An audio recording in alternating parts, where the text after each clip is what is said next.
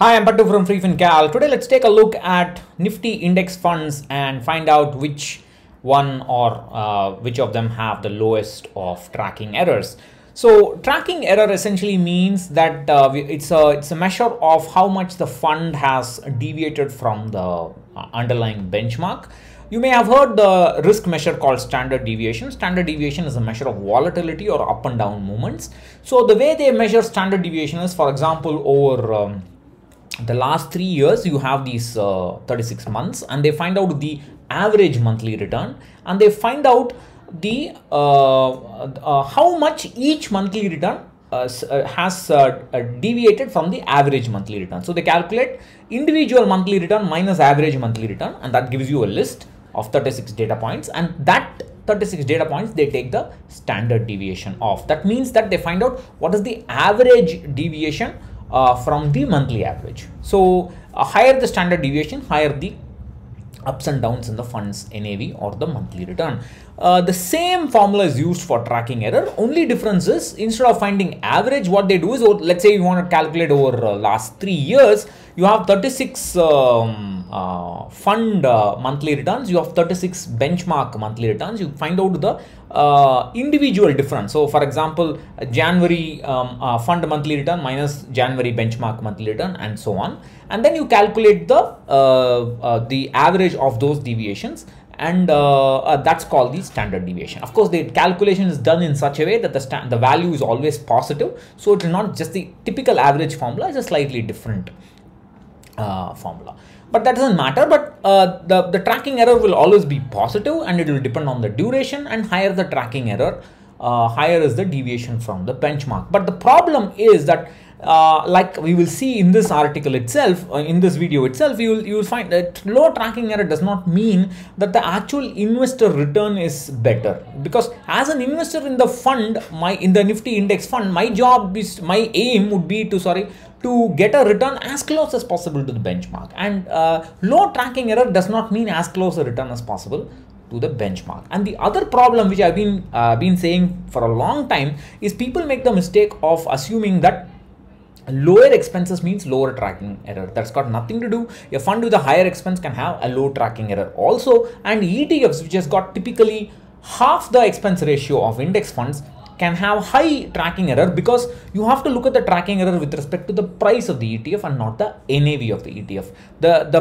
the returns that you see on the web is all calculated from the NAV. The tracking error that you see is all calculated from the uh, from the uh, NAV, it's not done with the actual price which the investors will have to pay when they buy, buy and sell. And if you are not careful, you can lose a lot of money when you uh, try to sell or buy uh, ETFs.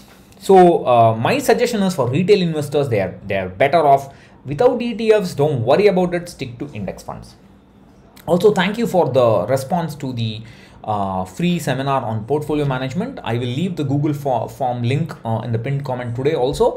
Uh, I, uh, it's going to be a very basic seminar. Don't expect, when I say portfolio management, don't expect some hocus pocus, this ratio, that ratio, nothing. It's going to be absolutely basic. It is for a person with no financial knowledge how to start investing the right way. That's all. And it's going to be a simple set of slides. I have been saying the same thing. Lot of things uh, uh, will be same. There's nothing new in it. And that's why I'm not going to uh, make it paid.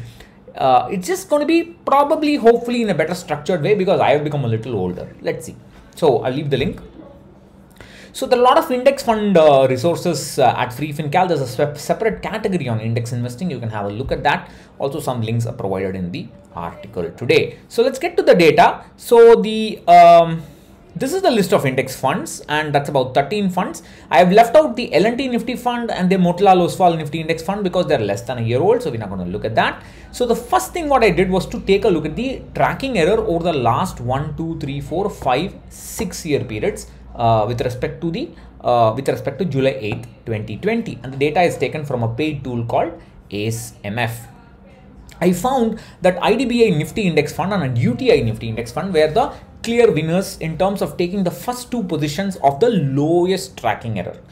Amusingly, IDBI has got 0.3% expense ratio, current expense ratio. That's three times more than UTI and the AUM is only 181 crores, whereas UTI has got something like uh, 2000 plus 2147 crores or something like that.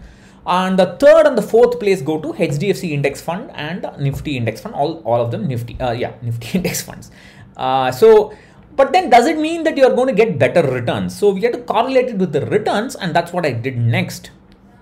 And if I, and that's the data of the returns, you can have a look at the data at the uh, in the article. I'm not going to uh, read those numbers out. Then I looked at the return differences. That is, I looked at the uh, index return nifty 50 tier total returns index return minus the fund return that will be that should hopefully be po uh, positive because the nifty index should always get the higher return because of the expenses the fund should get lower return. And then i inspected the return differences and i found that uti nifty index fund was on the top 3 in terms of the lowest return difference. That is the the amount that you lose because of the expenses and tracking errors was the lowest for nifty. Icici uh, also did quite well. HD, IDBI, uh, aside from the last two years, it has done quite. Uh, uh, IDBI did well. I mean, last two years IDBI did well, but uh, be before that it has not done well. In the case of HDFC, it was Ulta. Um, uh, it is also. I mean, both of them. I think. Sorry, let me have a look at it. I keep forgetting. Yeah, IDBI has done quite well in the last two years. Uh, in the in the past, it has not done well, but the HDFC fund in the past it didn't it do it did reasonably well but last two years the performance has dropped a little bit but that doesn't mean it's bad so clearly UTI Nifty Index Fund is a is a clear winner in terms of lowest tracking error and lowest return difference. IDBI has done well uh, recently, but it's got too low AUM, so you cannot. I don't think you should consider it. Uh, ICICI and HDFC are also not bad, or but HDFC is probably a bit better uh, ICICI not bad, but you have UTI. But the point is that you can't uh, see. The point is this: you everybody can't go and choose UTI Nifty Index Fund. That's also a, not a good idea. So you should have options. HDFC and ICICI are not so bad as well. So my suggestion is when you want to choose index funds, don't worry about tracking error. Look at the return differences like this. That will help you. Maybe you can also look at SIP returns as well. I will try and I'm trying to build a sheet, monthly sheets, just like my screener. Let's see how that pans out. Bye-bye.